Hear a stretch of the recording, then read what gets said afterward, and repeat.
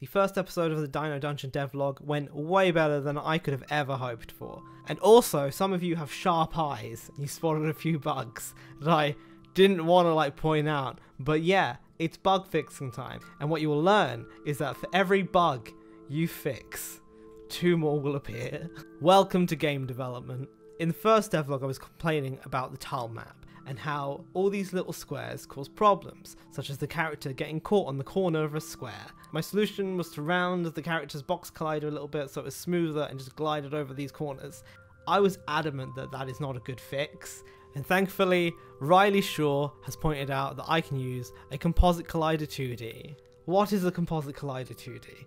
Well, if you have multiple objects that have colliders and they're touching, it will turn those colliders into one collider. So how do we get tile map to do this? Well, first we're going to copy the rigid body from the tile map into a parent object, and then we're going to go back to the tile map and delete the rigid body. Our tilemap collider has an option called use by composite. We're going to click that, and then it, it will tell you, you better make a composite collider. So we will, we'll go back to the parent and we'll make a composite collider. And hey presto, all these square colliders become one big collider. So now we won't get stuck in corners. And this performs so much better because then we don't have to continuously calculate 100 colliders. I've done this before in 3D and I don't know why I didn't think of doing it here. So thank you Riley for that. Another comment by Jumi is, I can see that you're shaking and glitching when you're up against the wall. And he's hinting that it's a physics problem, and yes, it is a physics problem. So what you were seeing was that I was calculating physics in the update function. And that's sort of not the best way to do it. Physics stuff sort of belongs in fixed update. Why is that?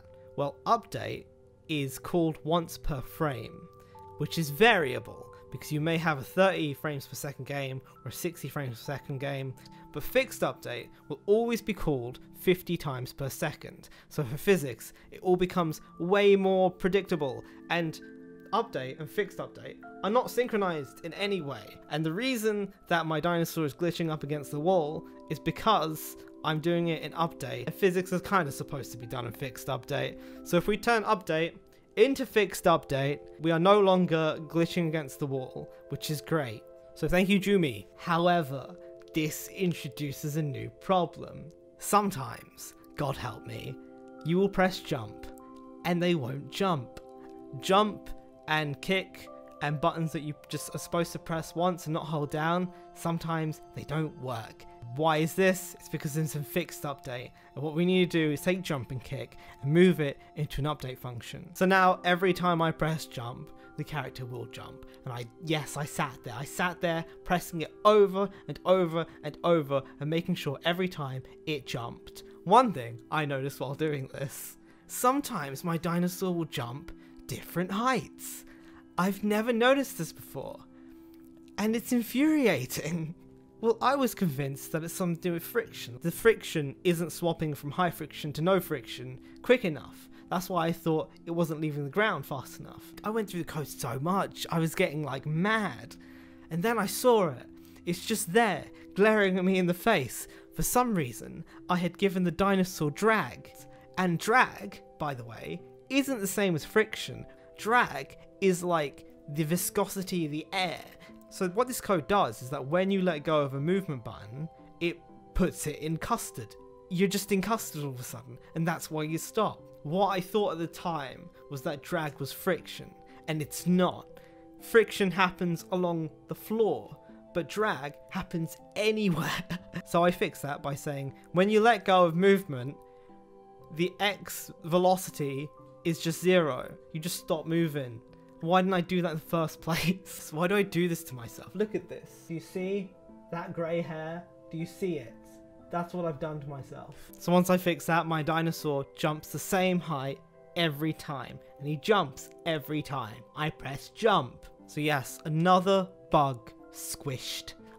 I am on a podcast called the Super Salty Podcast. There is one episode where I am criticizing the game control. But the most immersion breaking thing was like if you run towards a wall, she runs on the spot at the wall. You make them stop when you get to the wall. That doesn't seem like a hard thing to pro- to, to program. It's not. I when do char- when character model and and wall coordinates equal each other, then animation fucking stop. Like I don't know. It didn't seem In the game, when you're at a wall and you walk against the wall, your character plays the walking animation even though you are stopped. So, the first fix I attempted was to read off the rigid body velocity, and if its velocity is really small in the x direction, like less than 0.1, then I'm not moving. However, that didn't work. What you're reading is a velocity applied to the character before the physics has decided whether or not it's going to stop or not. So what I did was I came up with a way to measure the displacement of the character. So where was I last frame? Where was I this frame? Is it significantly large? If it's not, I haven't really moved. So let's not play the walking animation.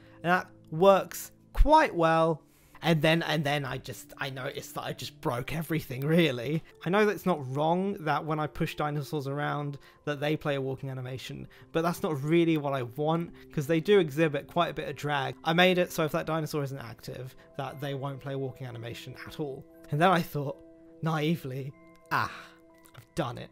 I can switch characters only the dinosaur that I am playing as is animated, the rest are non animated. When I push them, they don't do some little shuffling walk, they just get pushed like they don't want to be, and I was happy until I put my dinosaur on a moving platform. And as you can see, my dinosaur is actually being displaced by the moving platform, so the walking animation is playing.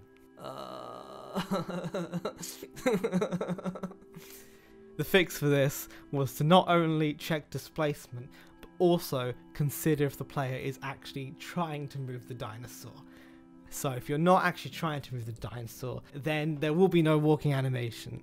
Here, the game is actually in a really good place. Um, things aren't glitching, you can jump every time, your dinosaur jumps the same height every time. So I thought, what if I upgrade the version of Unity the game runs in. I tried to bring the game from 2018 to 2019, and well, it went horribly. It went terribly, really badly, and I did spend some time trying to fix it. And then I thought to myself, the game was running just fine in 2018, so let's just stick with 2018. If it ain't broke, don't fix it. Thank you for watching my second devlog. Um, I have a Twitter, an Insta, uh, a Discord, and actually I have a Patreon that you can have a little gander at. I made the pixel art for the tiers myself. They're all tea because I drink a lot of tea. If Patreon isn't your jam, it's cool. Morally support me by coming to my Discord. We're actually holding a poll for some potential logo designs for Dino Dungeon, so please come on down and vote on the one that you like. And you know, you can always smack that bell button and become a bell end today. I'll see you in the next devlog. Bye!